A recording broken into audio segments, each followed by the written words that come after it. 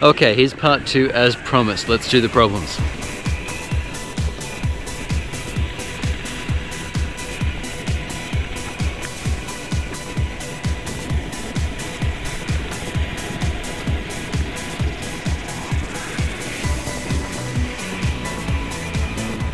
Okay, so the lights are on, which means our diffs are unlocked. Turn them off and we're locked. Light is on for first gear.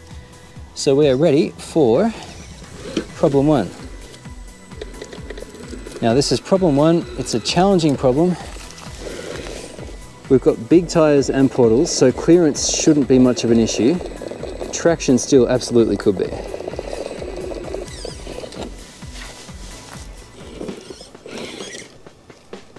Now I would usually unlock the rear and I'm going to. It's nice to be able to do that because I don't want as much forward momentum yet and now I do. So now that we're just repositioned a bit, I'll lock the rear again.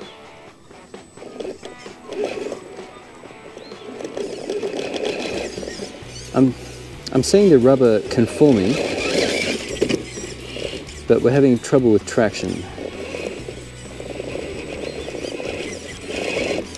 It's a heavy truck and not much weight down low. I think that might be the first thing. Now, one thing I haven't tested, seeing how similar these axles are, I wonder whether some of the weight upgrades for the TRX4 axles would work. Let's unlock that rear again. I wonder whether they work for the Rescuer here. The um, portal covers are different, they're definitely different, so maybe not. But there's always the good old backup of just putting heavier wheels on. It's not my first preference with crawlers, but um, if you can't do anything else, uh, heavier wheels will help. It just adds to the load on the motor.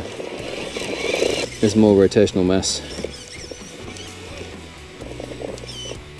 And I know I'm trying to convince you of going 2S instead of 3S here, and I usually use 3S on stuff, but another plus for 2S, aside from longer battery life, is lower heat. Your electronics aren't working as hard, and when you're driving the truck hard like this, honestly, that's uh, well worth considering, especially on a cheaper machine. Don't know if we're to... Oh, hang on. We'll try problem one again. I'll leave the failed attempts in because we're having a chat. I don't want to say all that again. All right. Hopefully I don't break it, but that's what we're here for. Find the limits if we can. There we go. So line, there's not much room for error with line choice like that. We'll keep going and come on, grip. Now, it's nice to see the tires fit inside the wheel arch. That's, that's definitely a good thing. Um, I don't want the truck to push itself around. So what I'm gonna do is unlock the rear and try and guide the front around here. Now the rear is going to fall down and we're going to be twisted, but that's okay. Okay, so we're not necessarily going to finish this. Oh, we did that. Look at that. nice. All right, we'll lock the lock the rear again. Lights are off, so both are locked, and lights off here, so we're still in first. Let's move on to problem two. Okay, problem two.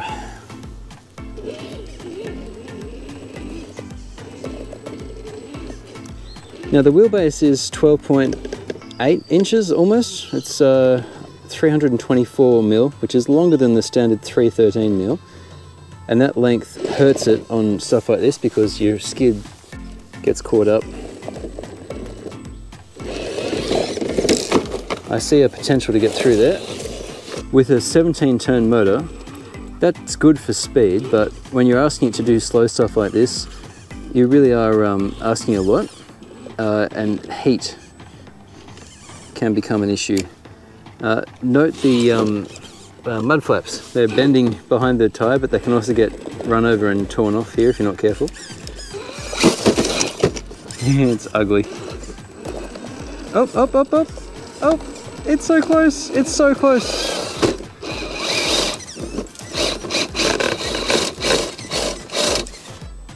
I love that there's clearance here.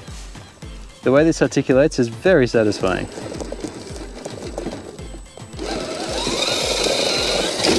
No, all right. Another issue is your uh, approach angle with the bull bar hanging so far forward. It looks good, but uh, it's it makes uh, approaches difficult. You need to be a bit creative with the uh, angle you're coming. Now the servo still has plenty of strength here. I'm actually having fun with this car. This is, uh, it's entertaining. There's an old meme of a road motorcycle crossing the uh, Jardine River way up north near the Cape and it says adventure is taking inappropriate equipment to out of the way places. This car is not inappropriate, but it's certainly not really made for this. Oh, here we go. We might actually, there we go. I think we come back and, So it's the vehicle's length here. The bumper is scraping.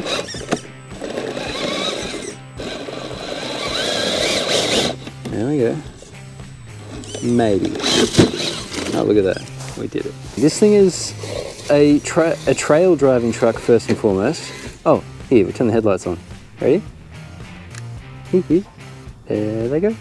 Uh, it's first and foremost a trail truck, so I don't expect as much of it on crawling. Hmm, if I'd held that, that would have been cool. Oh, and look, check it out. We're going to stop problem two because I don't want to unnecessarily damage this vehicle.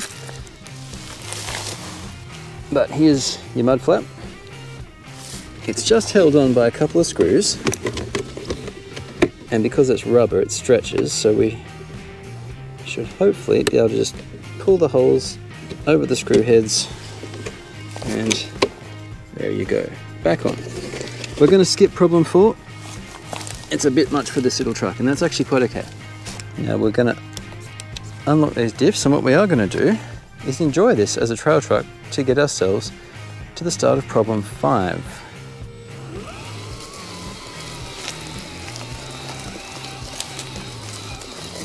Diffs are unlocked currently, just for fun. And that's what this truck really is all about.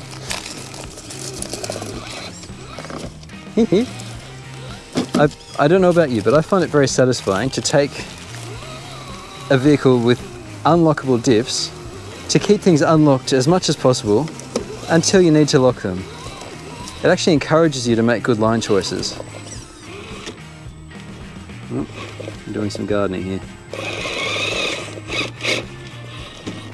Gonna have to come across. There we go. Oh, there we don't go.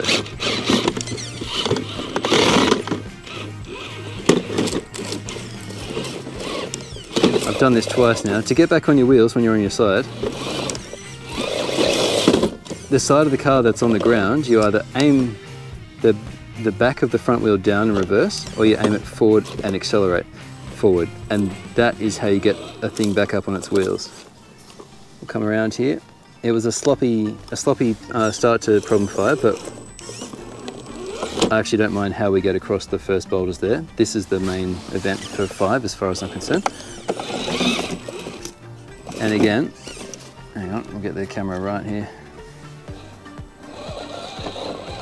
Sorry, you can't see. It's not good, you've got to be able to see. We're not making a radio show here. All right. So we're locked front and rear. You need to kind of stay to the left to not fall off, but you need to stay to the right to get traction. So it's it's quite an entertaining problem.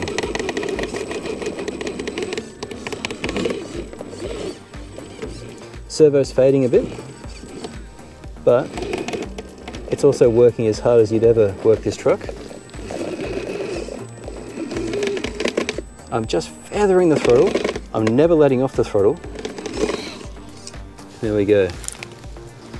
Right, we've managed problems one, three, and five. We couldn't do two. I doubt we're going to do six. The clicking is just the tyre lugs flicking on the front wheel arch. I'm inclined to let it be. I don't want to cut it and change the pretty lines on this body. Unlock the rear. Again, my little trick, because you want to bring the car around, you're going to need to unlock the rear. That's how you can yank the car left or right with the fronts locked. Uh, the fronts can stay locked pretty much the whole time when you're crawling, but having an unlockable rear can be useful. And we're locked again. Again with these lights on this thing, I love it. I wish all radios had an indicator like that. It's really handy.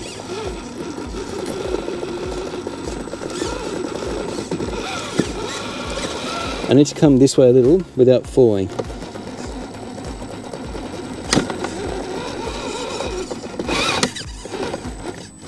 And we're currently resting on the bumper and on the, uh, the poor old mud guards.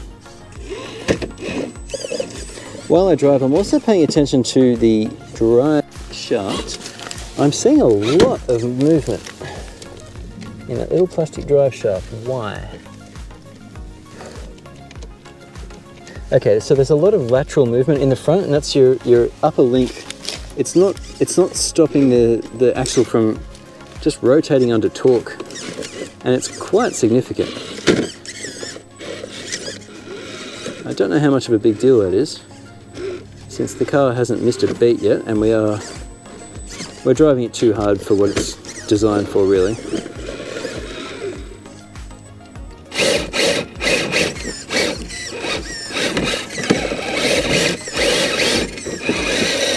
Yes. Oh, okay. Here we go. Here we go. We've lost the mud guard. Rear mud guard. Rear left. No.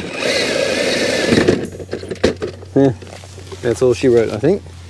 I reckon we'd get it up there eventually, but I think it'd be too hard on it. Okay. So there you have it. Problems one, three, and five successful. Six, I think we nearly did two, there was no chance, and four, yeah, I cancelled it. The main things I noticed during that were the movement. I could see the, could see this thing moving around a lot, the drive shaft, and looking at it, the the function of stopping this axle from shifting so much, it's it's on the uh, that's the job of the the top link here. It's really, let me see here. I'll turn this off so I can manipulate it without hurting it. The distance between the top link and the bottom link mount, it's only like it's what five mils. So that doesn't give that doesn't give it a lot of authority. Many axles have a bigger distance, like they'll have the top link mounted at the top of the pumpkin and the other links at the bottom, and that gives it, you know, a centimeter, two centimeters even of, of being unable to move.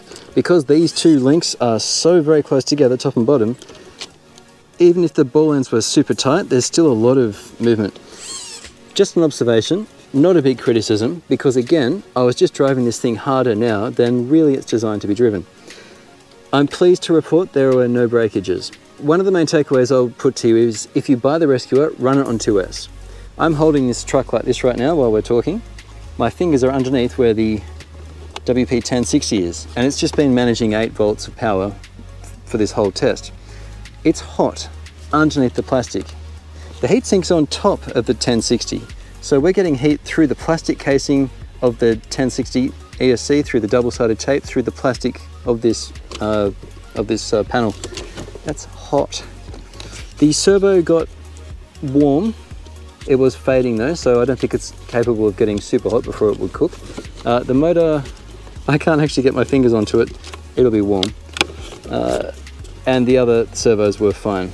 Radio's happy, and the tires are good. Overall, this is a plush, enjoyable, fun trail truck to drive.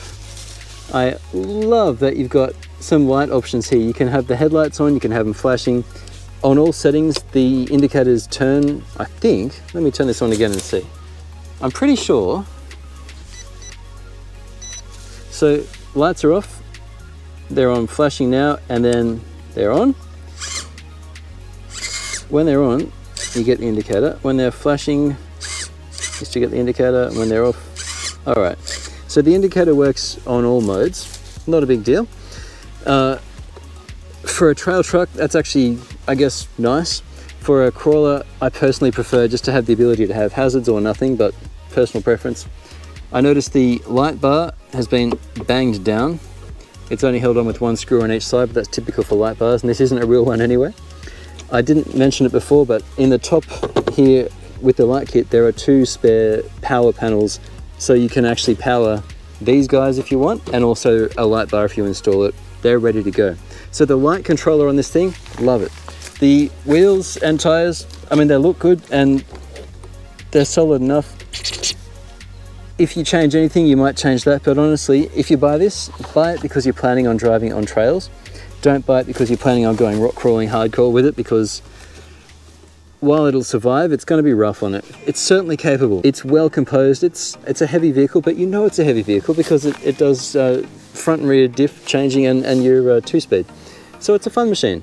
And it really is fun. Oh, and it was a 6.2 amp hour 2S battery, so it was lugging a lot of weight around today it's done really well. It's about a four kilo machine like this. So out of the box with no weights down low, yeah, I like it. There's going to be a write-up by the time you're watching this, I'll have it finished, uh, all about this vehicle. I'm very happy with its performance. If you're after a fun trail truck and you're on a budget, at the premium end of budget, really good. This, if, if it was this or say the Gen 8 V2, I'd be inclined to buy this unless I really wanted a crawler bias. And if I was biased towards crawling, it would then come down to the Gen 8 versus the Sendero, and you can see all about that in my big budget battle. Uh, as far as trail trucks go, if it's this or a TRX4, well, hey, this is 60% the price of a TRX4, and it's more than 60% of the truck. So if you like it, particularly if you like this Land Cruiser, in Australia it's called the Workmate, and in South Africa I think, I don't know about other markets. This is uh, your no-frills 90s style, 80s and 90s style engineering in a modern machine in real life, and well, I really like it. Throw me a like if you liked it too, or if you just got something out of this video. Thank you so much for watching. I'll catch you next time on RC TNT. Now, if you haven't seen it, check out my tyre test series here. If you're also interested in RGTs, check out the recent series we did on the Pioneer, the EX86110. That's here too. That was a really good truck. It started bad and it got good. I'll catch you next time.